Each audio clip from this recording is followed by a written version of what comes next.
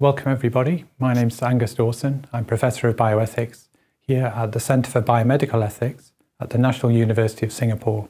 So in this second lecture, what I want to do is to explore and pick up on some of the issues that I covered in the first lecture and apply them to a particular example. And the example that I've chosen to focus on is thinking about many of the chronic diseases which are often correlated with various lifestyle choices.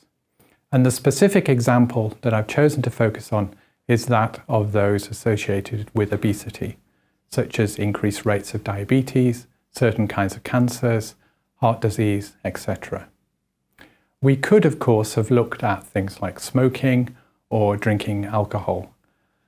Many of the issues that I'll be talking about may, may well apply to those examples as well, but we'll leave that for another discussion. So when we think about uh, chronic disease, it's important that we don't just focus on individuals and clinical care.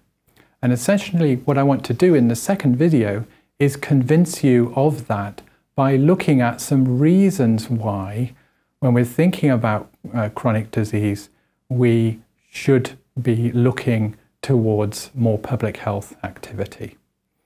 The public health activity is a way to reduce the, the risk or at best possibly prevent um, various kinds of chronic diseases from developing. So we never get to the step of treatment. So there's an argument for saying that um, at least some treatment of chronic disease is a result of failures in public health activity because public health activity is seeking to intervene what we might call upstream in terms of seeking to prevent the disease actually emerging in the first place. What I want to do here is to explore four reasons to look to public health as being a um, important um, aspect of thinking about um, how to respond to, to chronic disease. The first one here is to think about the scale of the issue and the rapidity of change. Remember here I'm thinking, uh, prim thinking primarily about the issue of obesity. Secondly, I want to emphasize ideas to do with complexity. Thirdly, socioeconomic determinants. And I'll end by saying a little bit about why we might actually focus on population interventions rather than um, seeking to identify individuals for interventions. So on the first issue, so this is thinking about um, obesity and the scale of the issue and the rapidity of change that there has been at the population level. So the way I'm going to um, try and get this point across is to show you some maps that have been produced by the Center for Disease Control and Prevention in the US. And I think they demonstrate really clearly the issue to do with how we can demonstrate the degree of change year by year within a population. So here are the maps. I'm just going to run through these quickly. So we start here in 2011, 2012. We just have annual changes. The detail for our purposes here doesn't matter so much. Just notice how the colors are changing.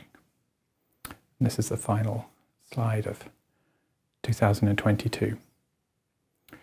So one of the things that I find really interesting about these slides and why I use them a lot is that they clearly suggest that something is happening at the population level in these particular states. There are different things going on in each of the individual states, no doubt, but the trend is clear. Rates of obesity, at least those self-reported in this particular study, and you would presume that people would, if anything, underreport their weight rather than over-report on what that is. Obesity rates are rising and they have risen very quickly. The second reason that I want to suggest why we might be um, looking towards public health here is that um, the issue of complexity in terms of mapping what the causal story might be for why these changes have happened. So here we're looking towards an explanation for those changes within a population. And what I want to suggest here is that it can't just be about uh, patients, individuals choosing to act in particular ways. The way that those slides change over that relatively short period of, of, of time suggest they almost look to my mind like a, the spread of an infectious disease. There's clearly something happening at the population level. And I think that it's going to be difficult to explain that by looking at the individual themselves, individual choices, individual autonomous choices. And we'll come back to this later on. So this is a slide, you're not supposed to be able to read the detail here, that's not what's important. But this is from a UK report where there was a, an exploration of the, what the potential causes might be for rising rates of obesity. And the, the message for you to take away from this slide is just notice all the arrows whizzing about this particular diagram. The thought is that if we're interested in thinking about obesity, how one individual's weight actually changes over time, then we need to see it within a complex set of causes. All kinds of things relating to taxation policies, um, food policy, um, the industrialization of food, agricultural practices, um, access to transportation, whether there's public transport or private transport, the changing nature of work, in relation to, most most of us spend most of our days sat down in front of a computer rather than doing physical manual labor, as was more common in the past, etc., etc. So the complexity of the causal story here is something that is one that leads us to see that the focus purely upon individual food choices is at best going to be part of the story. We have to look at the decisions that are made about food choices within a much broader social, economic, political context.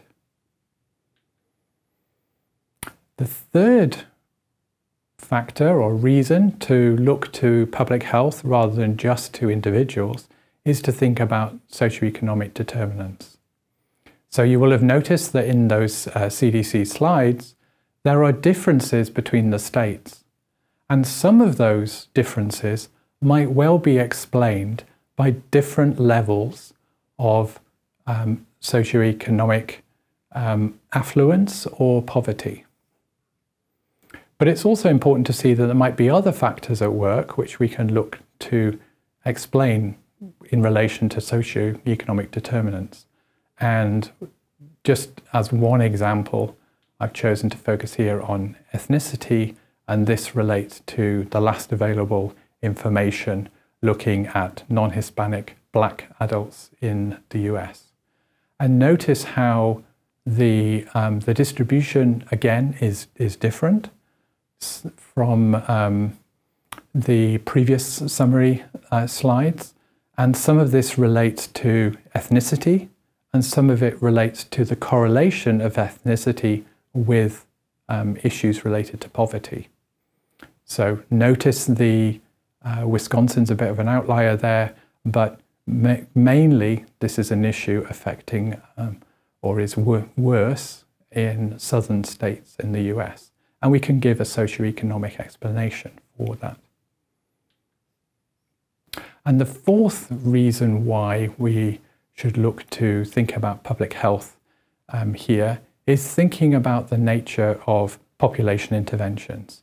And here I just quickly want to mention the work of a uh, epidemiologist, uh, Geoffrey Rose, and suggest or use his work to suggest reasons why there can be benefits to focusing on what we might call shifting the curve in relation to a population rather than just focusing on individuals. So here is a, a graph uh, from his work, and you'll see that on the graph here we have um, one axis is risk and the other is frequency.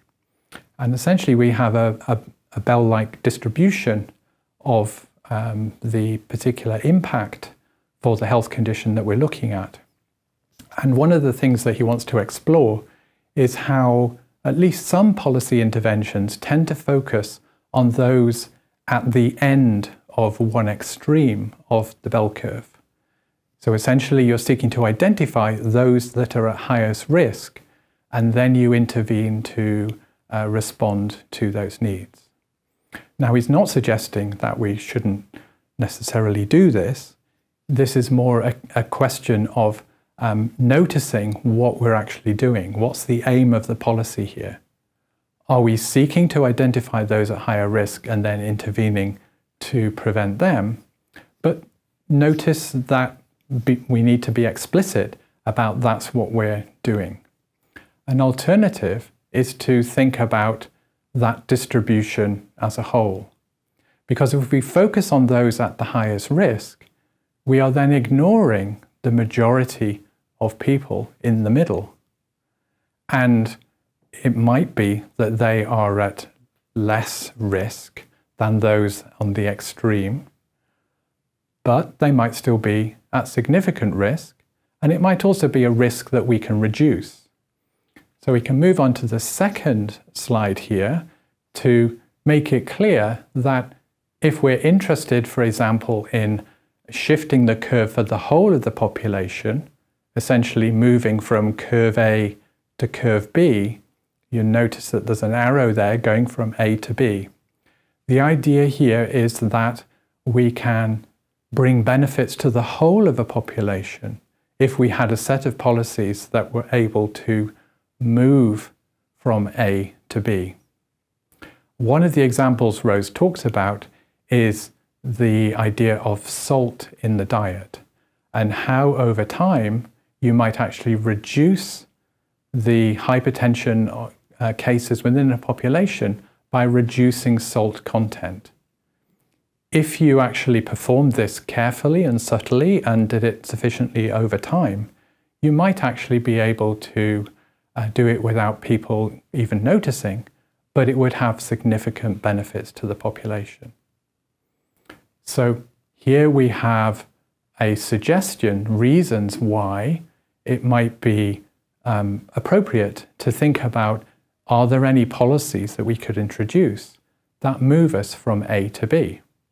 Maybe there are different kinds of regulations in relation to the salt content in food that we could bring in that would actually significantly reduce the risk of harm to a whole population rather than just focusing on those at the highest risk. So just concluding this uh, second video, I've chosen to focus on a particular example to pick up on some of the ideas explored in the first video. Thinking about the definitions of public health, this idea of focusing on the importance of populations, and also thinking about collective interventions as a means to improve the health of populations. Lifestyle choices are really interesting for a number of reasons, and they are, I think, are a fit subject for, for using as an example here because of the way that our choices accumulate over time. We are influenced in our food choices by all kinds of factors culture, tradition, commercial pressures, um, societal norms, etc. These are not one off decisions, and therefore there is more opportunity, if we are interested in effective interventions, to think about how we might intervene at the population level to, he- to help individuals actually respond to um, improving their health over time. Of course, these questions are going to be contentious, but there are also reasons, you know, looking towards the, the work of Rose as a potential justification, concerns about issues to do with equity in a population that provide reasons why we might take some of these ideas seriously. Of course, these questions are contentious, and that takes us into ethical issues, and that's what I'll focus on in the third video in this series. Thank you, and see you soon.